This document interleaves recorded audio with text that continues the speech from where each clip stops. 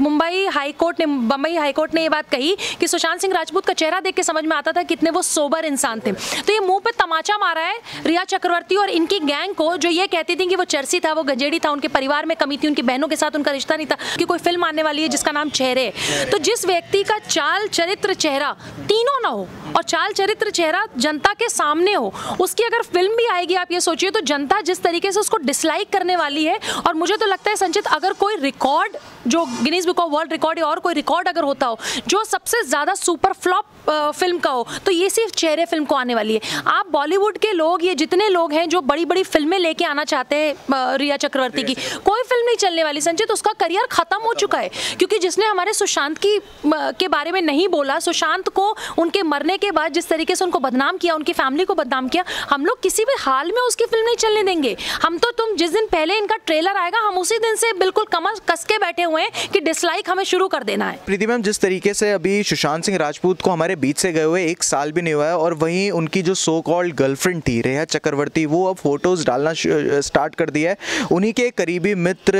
जो रोडीज के जज थे लक्ष्मण उन्होंने उनके साथ फ़ोटो डाली और फ़ोटो में हम देख सकते हैं कि रेहा चक्रवर्ती बिल्कुल भी मतलब दुखी नहीं थी और कहीं से लग नहीं रहा था कि वो सुशांत सिंह राजपूत से इतना प्यार करती थी। क्या कहेंगे आप इस पर? देखिए रिया चक्रवर्ती का जब इंटरव्यू एक नेशनल प्लेटफॉर्म पे लिया गया था रिया चक्रवर्ती के चेहरे पे दुख तब भी नहीं था। वो जो झूठ का पुलिंदा और झूठ की स्क्रिप्ट लेके वो बैठी थी तो दुखी तो वो उस समय भी नहीं थी।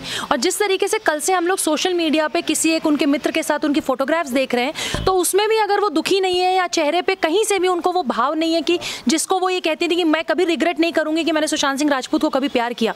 सुशांत सिंह राजपूत के गए अभी एक साल नहीं हुए, इसी महीने इक्कीस तारीख को उनका जन्मदिन है, लेकिन आप ये देखिए कि जिस तरीके से उनकी तस्वीरें आ रही हैं, चेहरे पे ना शिकन है, ना कुछ है, और कहीं ना कहीं जो जनता कहती थी और हम लोग कहते थे उनके बारे में वो तस्वीरें देख के। वैसे तो देखिए, ये अपना पर्सनल निर्णय है, आप किससे मिलते हैं, किसके साथ खाते हैं, किसके साथ तस्वीरें लगाते हैं, वो आपका पर्सनल निर्णय है। लेकिन सुशांत के केस में कोई भी तस्वीर, कोई भी न्यूज़ पर्सनल नहीं है। इट इज़ ऑल पब्लिक कोई भी ये कह के बच नहीं सकता कि ये मेरी पर्सनल लाइफ है। क्योंकि सुशांत सिंह राजपूत की जब हत्या हुई है, जिसके लिए पूरे पब्लिक में जो सेंटिमेंट्स हैं, उस सेंटिमेंट्स के कारण और जो जिस तरीके से उन्होंने नेशनल प्लेटफॉर्म पे आके सुशांत सिंह राजपूत और उनके पिता को बदनाम करने की कोशिश की, बॉम्बे कोर्ट में उनकी सिस्टर्स को घसीटा हुआ है उनके खिलाफ एफआईआर की हुई है तो हम भी एक भी मौका नहीं छोड़ेंगे ऐसी किसी विश कन्या को या ऐसी किसी भी गंजेड़ी जो चरसी परिवार है जिनके भाई जो है अभी जेल से होके आए तो हम भी उनकी कहीं से भी उनकी रिस्पेक्ट नहीं रखेंगे। क्योंकि उन्होंने भी सुशांत सिंह राजपूत की कोई रिस्पेक्ट नहीं रखी उनके परिवार की रिस्पेक्ट नहीं रखी वो भी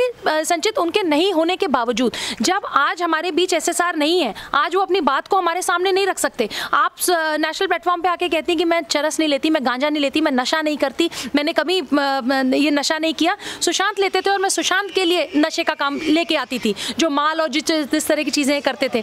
तो जिस तरह से आपने सुशांत को बदनाम करने की कोशिश की आप सुशांत के फैंस और एस भी एक भी मौका नहीं छोड़ेंगे आपको और एक्सपोज करने में। हाँ मैम, सबसे बड़ा सवाल यहाँ पर यह आता है, जैसा कि आपने ये चीज़ बोली कि वो अपनी पर्सनल लाइफ में कुछ भी करे, किसी को कोई दिक्कत नहीं है, लेकिन वहीं फिर वो बाहर जिस तरीके का जो ढोंग रचाती हैं, जैसे कि हम चाहे देख लें, जब आज तक में उन्होंने इंटरव्यू दिया था, तब वो रोने लग गई थी और तरह तरह की बातें कर रही थी कि सुशांत सिंह राजपूत मेरे सपने में उन्होंने बोला कि इंटरव्यू दे। और इस तरीके की कई सारी तो जो इनका जो डबल फेसेस जो जिनके तो दो चेहरे हैं, जो दो चरित्र हैं, क्या कहेंगे आप उसके देखिए, उस इंटरव्यू पे तो पूरी दुनिया हँसी।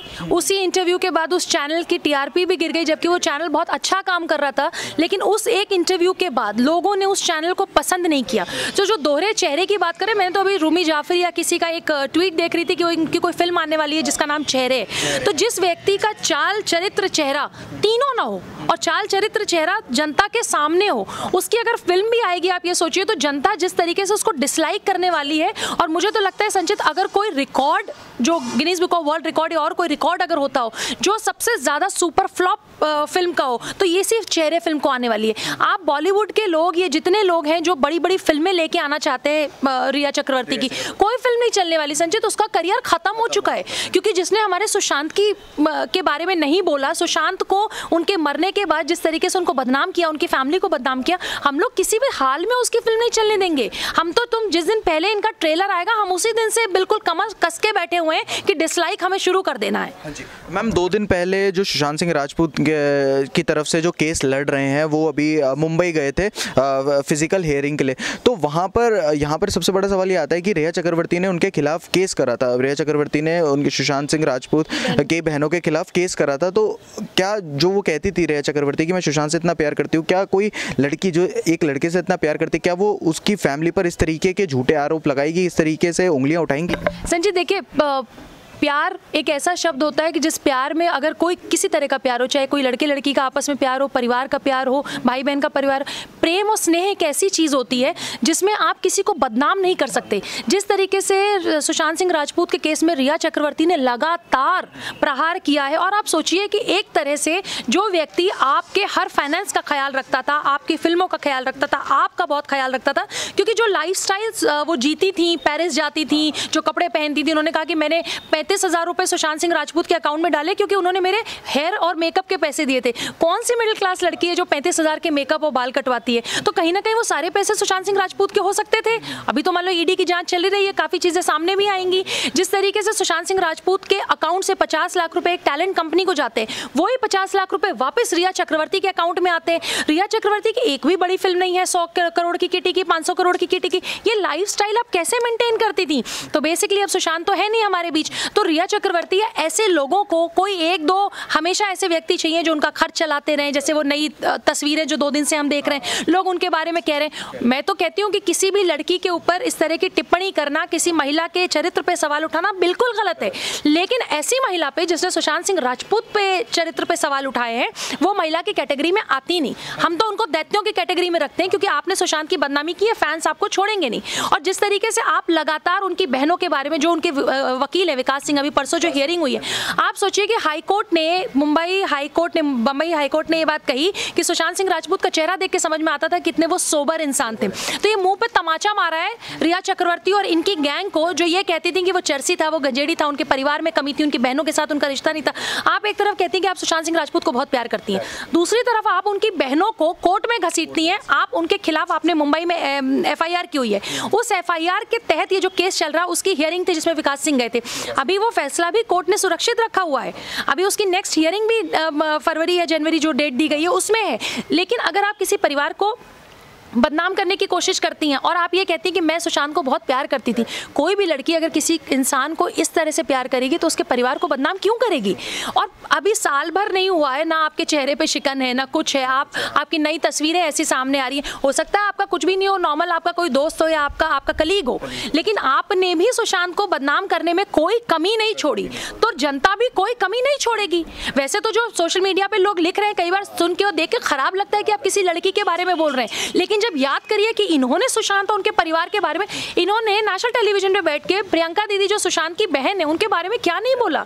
आज तक चारों बहनों ने कुछ भी आके सामने से इनके बारे में नहीं कहा, लेकिन इन्होंने कोई कसर नहीं छोड़ी, चौहत्तर साल के पिता और उनकी चार बहनों के बारे में बोले। तो हम भी आपको नहीं छोड़ने वाले। अगर आपको कीचड़ कीचड़ ही खेलना है तो आप कीचड़ खेलिए, हम भी कीचड़ में उतर चुके हैं। आप जितनी बार कीचड़ से प्रहार करेंगे, हम डबल प्रहार के लिए तैयार हैं। हाँ मैम, प्रीति मैम, हमें ये पता है कि सुशांत सिंह राजपूत का जो केस है, वो कितना ज़्यादा सेंसिटिव है और अब हो, और और भी ज़्यादा हो चुका है। लेकिन वहीं अगर हम बात करें रेहा चक्रवर्ती की, कल जब ये पिक्चर पोस्ट की गई थी राजीव लक्ष्मण द्वारा, उस पर ट्रोल उस पर लोग ट्रोल करने लगे उनको। उसके बाद उन्होंने डिलीट कर दी और उन्होंने एक पोस्ट करके उसमें ये लिखा कि रेहा चक्रवर्ती और हम दोनों सिर्फ़ दोस्त हैं, इसमें एक फ़ोटो डालने में कुछ भी गलत नहीं है। तो क्या रेहा चक्र, ये सारी चीज़ें जो आपको लगता है क्या जो स्टार्टिंग से सारी चीज़ें हो रही हैं, जो डिफेम करने का, खुद को जो ये ट्रेंड चला रखा है और हम देखते हुए कई पहले से भी ये चीज़ें चल रही हैं। तो क्या ये सारी चीज़ें सोची समझी थी जो जो भी कुछ हुआ ये सब कुछ स्क्रिप्टेड था क्या लगता है आपको? देखिए उनको हाईलाइट होने का बहुत शौक है इसलिए वो अपने आप को मिडिल क्लास कहती हैं लेकिन आ, मुझे ध्यान नहीं है इस देश में अगर 130 करोड़ 35 करोड़ लोग हैं तो 50 परसेंट सिक्सटी परसेंट से ज़्यादा आबादी आई गेस मिडिल क्लास लोगों की है बल्कि ज़्यादा मुझे लगता है परसेंटेज में। कौन से मिडिल क्लास की लड़की को नेशनल टेलीविज़न पे ऐसा प्लेटफॉर्म दिया गया है? क्यों हम उन लोगों को नेशनल टेलीविज़न पे बिठा के उनको नेशनल आइकॉन बनाते हैं? हम विवेकानंद जी की जयंती आने वाली है हम विवेक विवेकानंद जी के बारे में, उनके परिवार, उनके खानदान को ढूंढेंगे, हम उनके इंटरव्यूज़ करेंगे। वो युवाओं के आइकॉन है। रिया चक्रवर्ती युवाओं की आइकॉन नहीं है। जिनका भाई चरस गांजे में जेल जाता है, जिनके फ़ोन से दुनिया भर के मैसेजेस आते हैं मैसेजेस ईडी रिकवर करती है, जिसमें चरस गांजी की वो बात करती है हमारा नेशनल आइकॉन नहीं है। तो ये स्क्रिप्ट तो इसलिए चलाई जाती है क्योंकि हमेशा स्क्रिप्टेड इंटरव्यू देने की, और हो सकता है ये फ़ोटो जो जो भाई साहब ने डाली थी, उसकी वजह से वापस से लाइमलाइट में आ जाएँगी, और मैं तो आगाह करूँगी उन भाई साहब को, जिनके साथ इन्होंने तस्वीर डाली है कि भाई, सुशांत सिंह राजपूत के साथ जो हुआ, वो पूरे विश्व को पता है। आपको अपनी अगर ज़िंदगी, इमेज, जीवन, परिवार प्यारा हो तो रिया चक्रवर्ती से दूर रहे। क्योंकि रिया चक्रवर्ती जिसके जीवन में एंटर करेंगी, उसके परिवार को ख़त्म कर देंगी।